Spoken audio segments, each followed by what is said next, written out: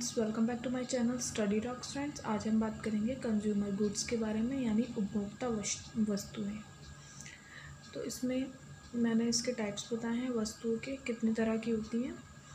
और अगर आप मेरे चैनल पर फ़र्स्ट टाइम आए तो प्लीज़ उसको सब्सक्राइब कर लीजिए और बेल आइकन को प्रेस करके ऑल वाले नोटिफिकेशन को ऑन कर दीजिए।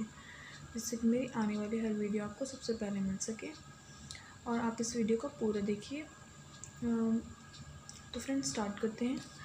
उपभोक्ता वस्तु जो होती हैं, वो चार तरह की होती हैं। टिकाऊ वस्तुएँ अर्ध टिकाऊ वस्तुएँ गैर टिकाऊ वस्तुएँ और अभौतिक वस्तुएँ यानी सेवाएँ। तो मैंने इनकी डेफिनेशन बताई है सभी की। उपभोक्ता वस्तुएँ जो होती हैं यह है वे वस्तुएँ होती हैं जो मानवीय आवश्यकताओं को प्रत्यक्ष रूप से संतुष्ट करती हैं। इनका प्रयोग अन्य वस्तुओं के उत्पादन के लिए नहीं किया जा सकता। ठीक है? कौन सी वस्तुएँ होती हैं जो मानवीय आवश्यकताओं की पूर्ति, प्रत्यक्ष रूप से संतुष्टि करती हैं? ठीक है ना? जो हमारी रोज़मर्रा की चीज़ें हैं, जिनके बिना हमारा गुजारा नहीं है। इसमें आ जाएगा खाना, ठीक है?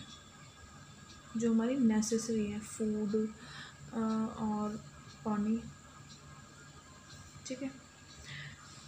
नेक्स्ट है टिकाऊ वस्तुएँ। यह वह वस्तु हैं जिनका उपयोग कई वर्षों तक किया जा सकता है तथा इसका सापेक्ष मूल्य भी अधिक होता है, जैसे TV, car, scooter, washing machine etcetera टिकाऊ वस्तुएँ वो होती हैं जो लंबे टाइम तक चलती हैं और उनकी जो मूल्य होता है, उनका जब हम उनको परचेज़ करते हैं तो वो भी अधिक होता है। तो इसमें ये आ जाती हैं TV, car, scooter washing machine तो ये थोड़े लंबे टाइम तक चल जाती हैं।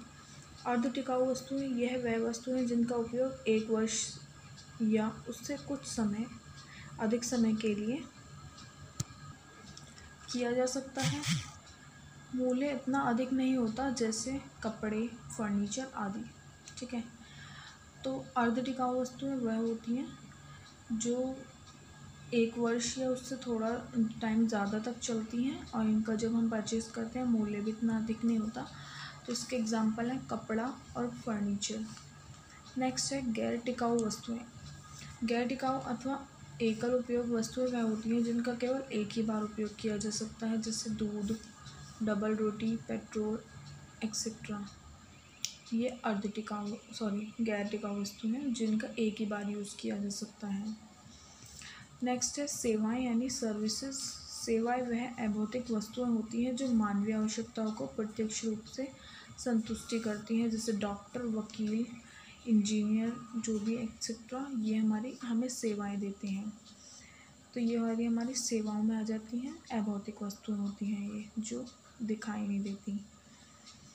तो फ्रेंड्स, यही है मेरी आज की वीडियो। अगर आपको पसंद आई है तो प्लीज़ लाइक कर दीजिए और मेरे चैनल को सब्सक्राइब करना ना भूलें। Thank you.